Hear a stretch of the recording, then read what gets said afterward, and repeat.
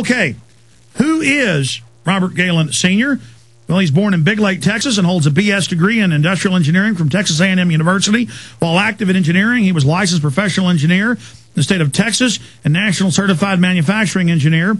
After graduation, he accepted a commission as the second lieutenant, later promoted to first lieutenant in the Army Security Agency, a branch of the NSA, which is a big brother of the Central Intelligence Agency. Military training was in the field of crypto analysis, the breaking of codes, and he served as a company commander with the intelligence unit on the demilitarized zone DMZ in uh, the Valley of South Korea from 56 57 after fighting had ceased.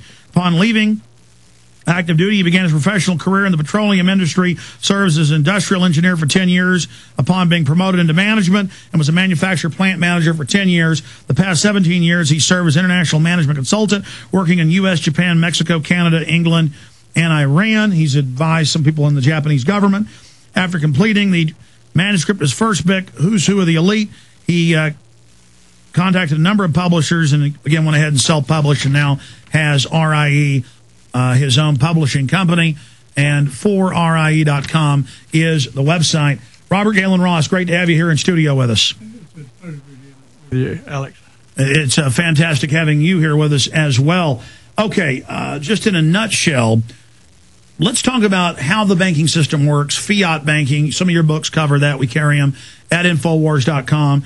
Kind of dovetail it with your other work, the murder of JFK, RFK, MLK, how they murder people. We've had four big CEOs killed the last 48 hours. The head of the Rockefeller Families Corporation was clearly murdered.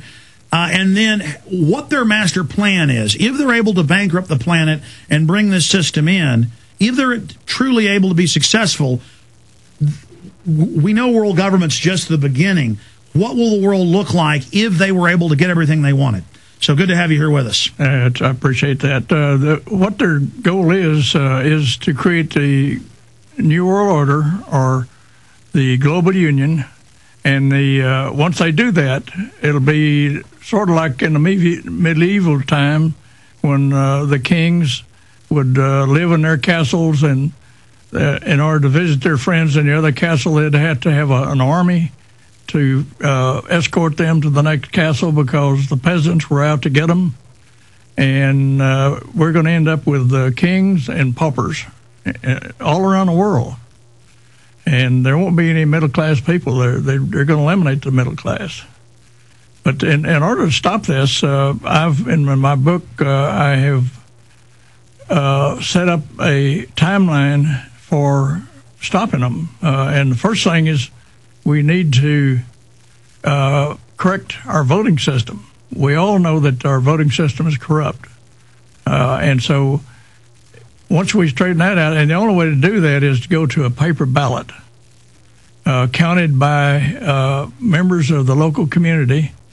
And once the uh, count is made, then it must be posted in a local newspaper before it ever goes to Washington or wherever, so that they can't juggle the numbers once uh, once the results are finished. And we've got you for over an hour, so I want to get into that uh, in the second part. Get into solutions. Get into your new book, hot off the presses, what the elite have done to America and how to fix it, uh, by Robert Gaylon Ross Sr. But starting out, because we have a lot of people, a lot of new listeners every day now. The show just gets bigger and bigger. Uh, thank God we're reaching more people because so much what we talked about has come true. Describe how fractional reserve banking works, the Rockefellers, the Rothschilds, what we're dealing with, and then currently your take on because you're right. The Club of Rome is brags, CFR brags. They want to bring in neo feudalism, neo serfdom. They want to bankrupt the world. They want to go to a post industrial system where the armored government compounds uh, in, in the countryside are where the elites live. They will have life extension technologies. They will have access to high tech. We are going to be put into a level of squalor, degradation, one child policies, really kind of roving government systems uh, that keep us in check and the orderly extermination. But, but, but specifically, how these banking families got their control and what their master plan is. Yeah, they've developed techniques uh, in in their money science. Uh, for example, the uh, the reserve system. Uh, a bank is required to keep 10% of their capital in reserve, and then they can loan out 90%. So let's say that you uh, deposit $1,000 in a local bank, they can turn around and, and loan out $900 of that to someone else. And let's say they loan it to Joe, and Joe immediately puts into his checking account or savings account, then they can loan out uh, 90% of that. So as this keeps going from one to another, $1,000 can create $9,000 in new money. And that's the fractional reserve system. And it's done uh, to uh, uh, so that they can loan this money out at interest.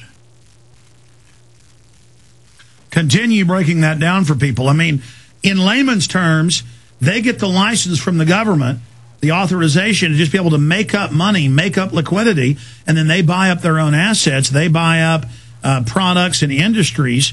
And then they got rid of the Glass-Steagall Act in 99 that allowed investment banks to become normal retail banks. And so they just directly gave themselves unlimited money and broke free of the chains of just the fractional reserve banking that already allowed them to take over the economy to just unlimited unlimited funding. And so they've now created tens of trillions of dollars more uh, fiat currency than there even is real assets. That's correct. And, and the the Federal Reserve creates money out of thin air, uh, and most of the money they create is done by electronic means, by just a computer entry into their database. And if they print new money, it costs somewhere around thirty-five thousand dollars for a pallet load of, say, hundred dollar bills. That's all it costs them. But that pallet load may contain five billion dollars worth of money, so that uh, the cost of printing the money is, is nothing to them. I've talked to economists because they haven't published these in about a decade. A decade ago, for every billion dollars of fiat currency on, on, on the computer books, uh, well, well, there's roughly 3% paper money or coin money for every uh, dollar that's out there. But I've been told it's even less than that, down to about 1% right now.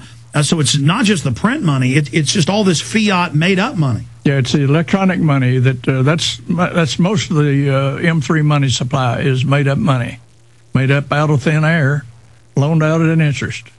So people will kill each other. People will cheat their parents. People will do anything for some Federal Reserve notes, and it's all just made out of nothing for a handful of uh, private families uh, to be able to literally own the planet. That's right.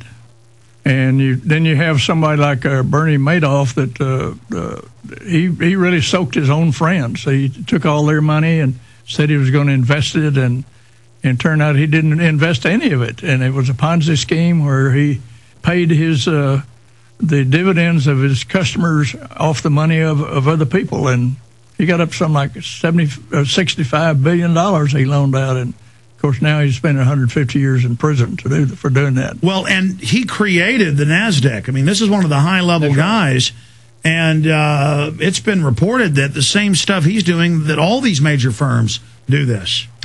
But uh, if you look at the uh, uh derivatives and credit default swaps, uh, that is a Ponzi scheme in itself.